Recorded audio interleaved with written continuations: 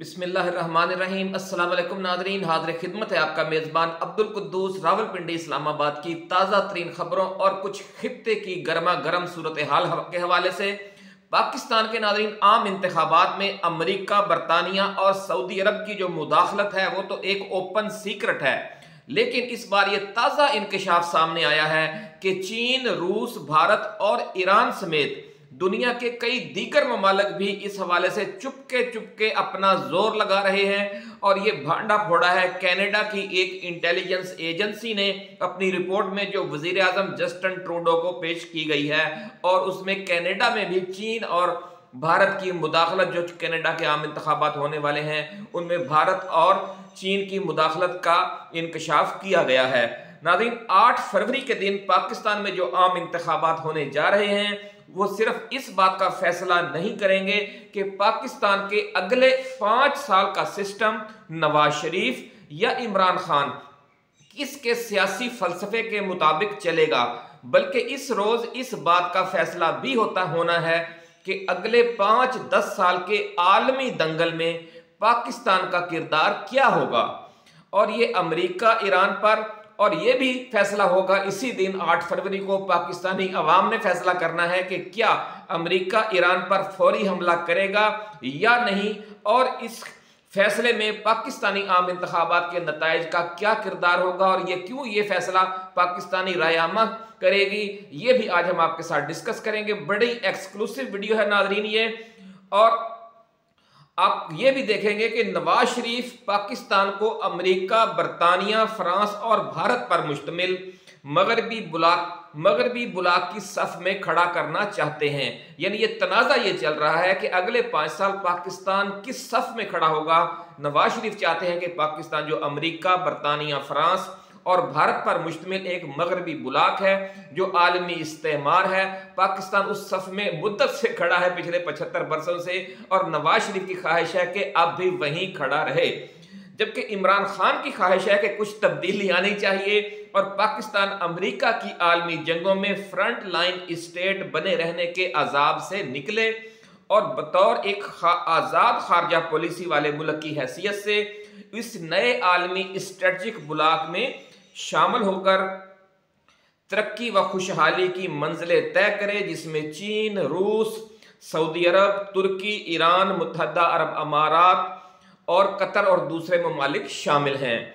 नाजरीन, ये तो इन आम इंतबात का जो 8 फरवरी को होने जा रहे हैं, एक आलमी पहलू है या इंटरनेशनल सिनारियो है, और जो मुल्की पहलू है, हल्का वाइज वो भी आज हम आपके साथ डिस्कस करेंगे। बड़ी एक्सक्लूसिव वीडियो है नाजरीन आज आपके लिए। उसमें आज हम क्या आपके साथ डिस्कस करेंगे? सबसे पहले हम लाहौर का जो दिल है, पंजाब की और पाकिस्तान की सियासत का, उसको डिस्कस करेंगे बड़ी तफसील के साथ कि लाहौर से अता तारड़ हाफिजाबाद से मियाँ लतीफ़ और फैसलाबाद से राना सनाउल्ला की चीखें क्यों निकल रही हैं? और पूरे खैबर पख्तूनख्वा में परवेज खट्टक की सिर्फ़ एक सीट के सिवा और पूरे बलूचिस्तान में जो पूरा उसका पश्तून बेल्ट है बलूचिस्तान की इन दोनों एरियाज़ में जो खैबर पख्तूनखा की पश्तून बेल्ट है और जो बलूचिस्तान की पश्तून बेल्ट है, वहाँ हर तरफ़ पीटीआई की लाल आंधी उफक पर क्यों छाई हुई है? ये एक्सक्लूसिव रिपोर्ट भी आज हम आपके लिए लेकर आए हैं। और सार ये भी बताएँगे कि इस बार फैसलाबाद और लाहौर के साथ साथ गुजरावाला, सियालकोट और गुजरात में भी हर तरफ़ लाल आंधी क्यों नज़र आ रही है? नादरीन कराची में जो पश्तून, पंजाबी और महाजर वोट बैंक है, उसमें जो इमरान खान की मकबूलियत की हवा है, वो अपनी इंतहाओं को छू रही है। और अंदरून सिंध में भी सूरत हाल अब ये बन गई है, जरा का ऐसा कहना है कि पाकिस्तान पीपल्स पार्टी को इस बार जीडीए और पीटीआई की तरफ़ से जितना सख्त कंपटीशन दरपेश है, उसकी पिछले दो आम, दो तीन आम इंतबात में मिसाल नहीं मिलती। नाजरीन, ये क्या बड़ा इनकलाब है और पूरा मुल्क जो शुमाल से लेकर जनूब तक, पूरा मुल्क एक इंतबी बुखार में मुबतला है और आठ फरवरी को फैसला होने जा रहा है। तो अब ये मामला किस तरफ़ जाएँगे? मुल्क ये जो इंतबी सर्वे हैं और जो धांधली के मुजवजा मनसूबे हैं, उनकी चौंका देने वाली तफसीलात भी आज हम आपके साथ शेयर करेंगे।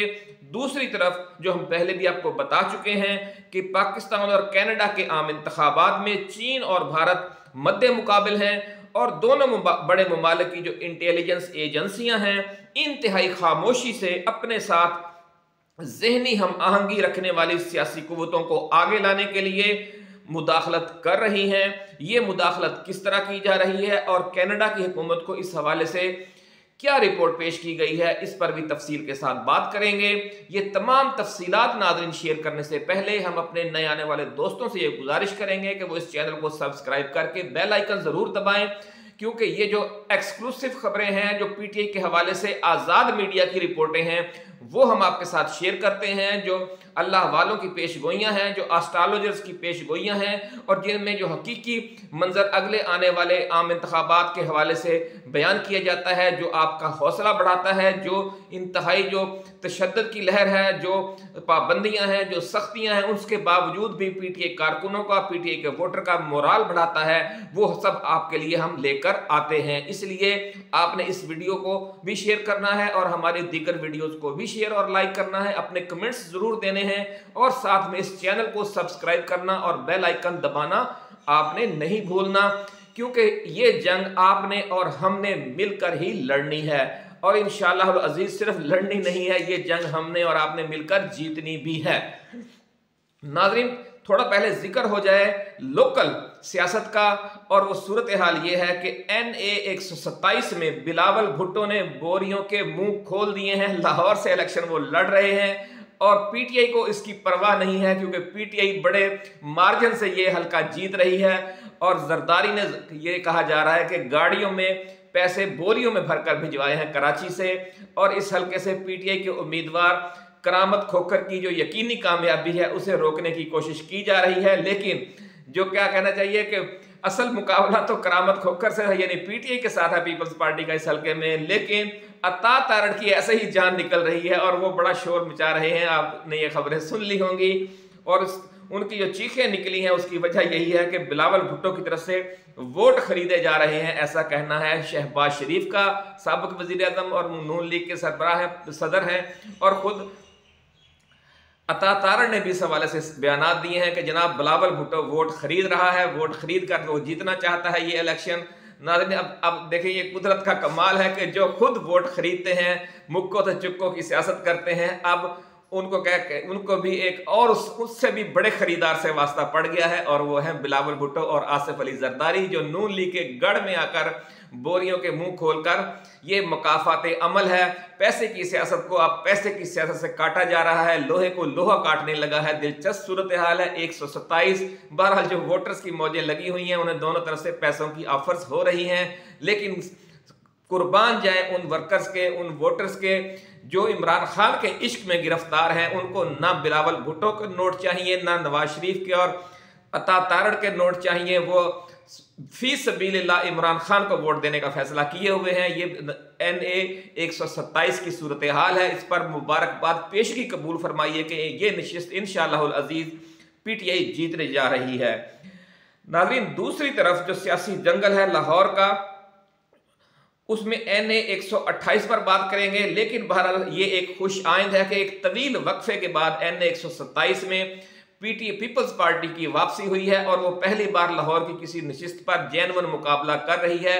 ये नेक शगुन होगा कि एक बड़ी जमात है, उसे वापस पंजाब में आना चाहिए था और जो पंजाब की सियासत का दिल है, पाकिस्तान की सियासत का दिल है, उसमें बिलावल भुट्टो की ये अच्छी एंट्री है। बहरहाल इसे हमें खुश आमदेद कहना चाहिए।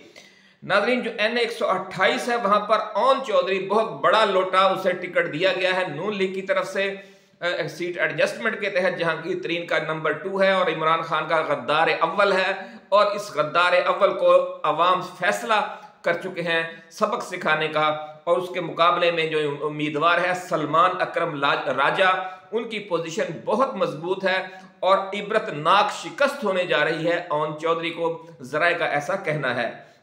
नादरीन, हर से, हर जो सर्वे इस हल्के में हो रहा है, उसमें हर चंद रोज बाद हज़ार, दो हज़ार या चार हज़ार वोट कम हो रहे हैं ओन चौधरी के, जो उसकी हरकतें हैं, जो उसने खास तौर पर ये जो केस था इमरान खान का इद्दत और शरी सॉरी, इद्दत के हवाले से उसमें जो उसने घनावना और गलीज किरदार अदा किया है, उसकी वजह से उस पर लोग नफरत कर रहे हैं और उसका जो अपना वोट बैंक है, वो भी उससे मुतनफ़र हो चुका है और इसलिए उसकी इबरतनाक शिकस्त यकीनी है।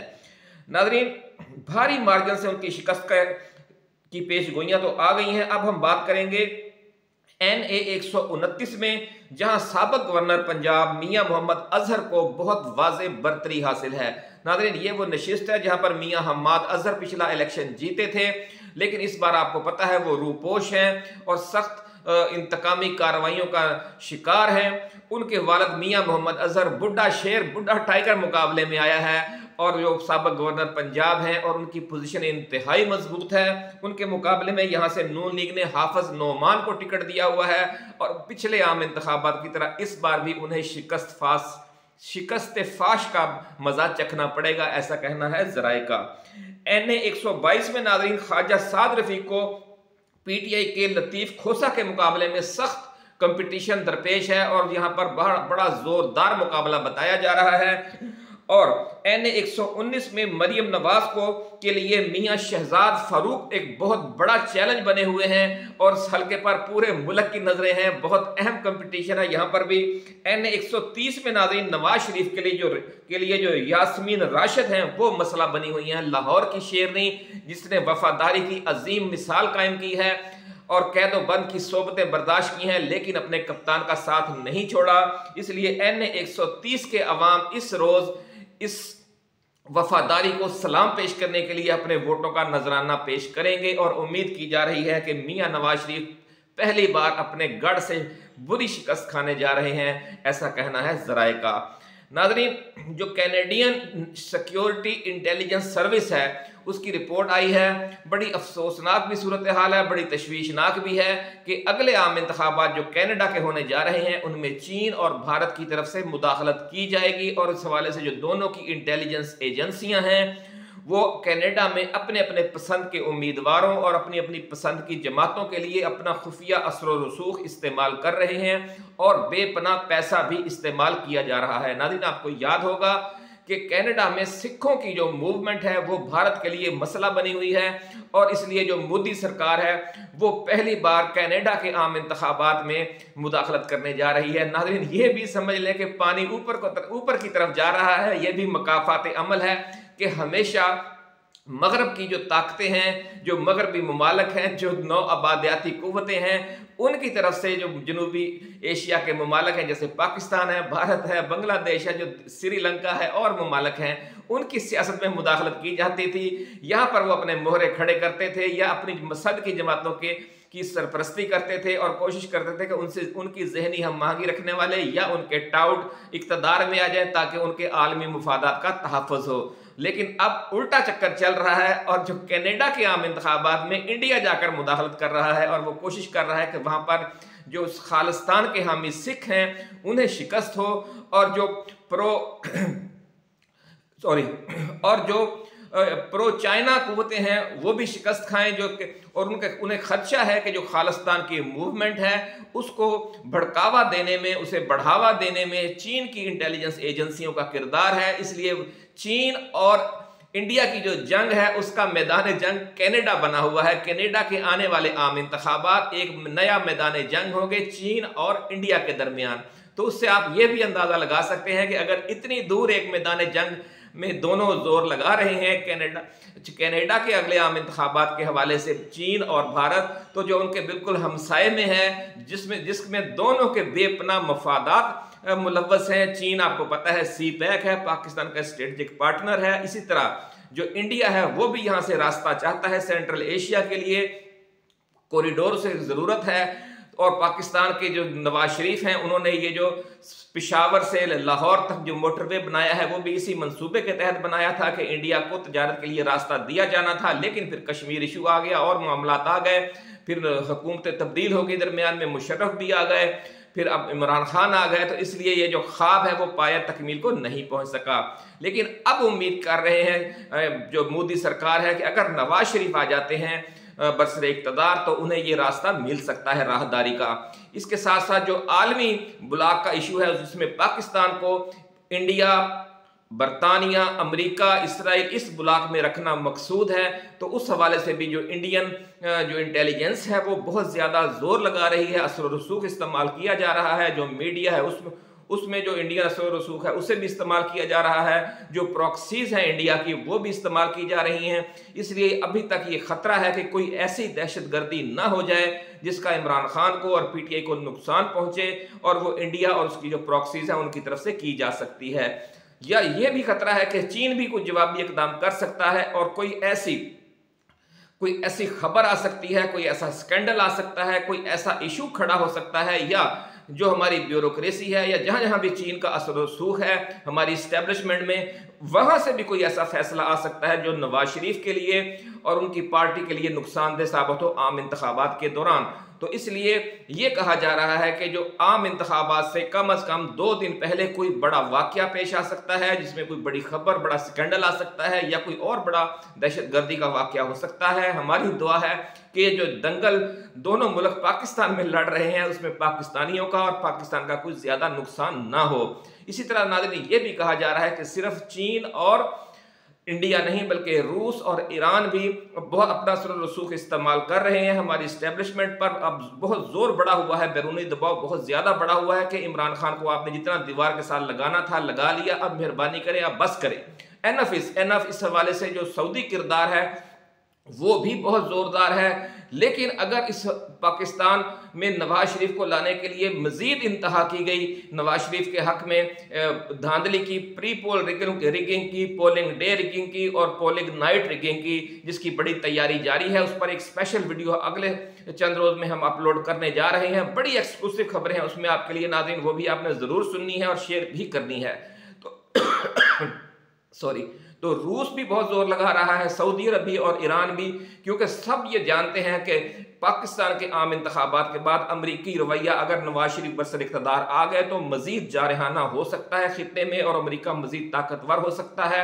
इसलिए उनकी कोशिश है कि अव्वल तो इमरान खान को और पी टी ए को वापस आना चाहिए। अगर वो वापस नहीं भी आ सकते तो जो नई हुकूमत बने, वो कमज़ोर हुकूमत हो, उसे इतनी भरपूर अक्सरियत हासिल ना हो। इसलिए ये जो आलमी दंगल है आठ फरवरी को, वो पाकिस्तान में लगने जा रहा है और आपने उसमें बड़ा अहम किरदार अदा करना है। कुदरत ने ईरान पर हमले के हवाले से जो अमरीकी प्लानिंग है, उसकी कुंजी आपके हाथ में दे दी है। आपने अब ये फैसला करना है कि आपने जो इस्लामी ममालिक हैं, उन पर जो जुल्म सितम और जो बम्बारी और जो आतश आहन की बारिश हो रही है, उसमें आपने भी अपना किरदार अदा करना है उसे रोकने में या उसे बढ़ावा देने में। नाजीन अमरीका और बरतानिया ने यमन, शाम और इराक में जो खौफनाक बम्बारी का सिलसिला जारी रखा हुआ है, और अगर नवाज़ शरीफ इलेक्शन जीत कर बरसर इकतदार आ गए तो इस ईरान भी इस नई आलमी जारहीत की जद में आ जाएगा, ऐसा कहना है इंटेलिजेंस जराए का। इस मंसूबे को नाजरीन, भारत की हिमायत भी हासिल है। और जो आज बमबारी हुई है, सॉरी, जो कल बमबारी हुई थी शाम और इराक पर, उसके हवाले से रूस ने सलामती कौंसिल का हंगामी इजलास बुलाकर उसमें अमेरिका की मजम्मत की करारदाद भी पेश कर दी है। और उस पर जब तक ये वीडियो आपके सामने आएगी तो हो सकता है उस पर वोटिंग भी हो चुकी हो, लेकिन इस करारदाद का हशर भी वही होगा जो साफ़ अमरीकी जारहीत के हवाले से, जैसे गजा में इसराइली जारहीत या यमन में अमरीकी जारहीत उस हवाले से जो सबका करारदादों का होता आया है, यानी अमरीका उसे वीटो कर देगा। नाजरीन पाकिस्तान के इंतबी दंगल में, चीन और भारत समेत और रूस समेत और जो दीगर तमाम ममालक हैं, उनकी जो एक्टिविटी है, उस हवाले से जो मजीद तफसीत होंगी, वो हम अगली वीडियो में आपके साथ शेयर करेंगे। ख़ास तौर पर ज़रा का ये कहना है कि सऊदी अरब से एक और ज़ोरदार सफारतकारी मुतव है इमरान खान के हक में। जो ही वो पेशरफ हुई हो, वो भी हम आपके साथ शेयर करेंगे। उस वक्त तक के लिए अपने मेज़बान अब्दुल कुदूस को आप इजाज़त दीजिए। आप अपना दोस्तों, रिश्तेदारों और गिरदो नवा में रहने वाले तमाम अहल वतन का बहुत ख्याल रखिएगा। अल्लाह हाफिज़। पाकिस्तान, जिंदाबाद।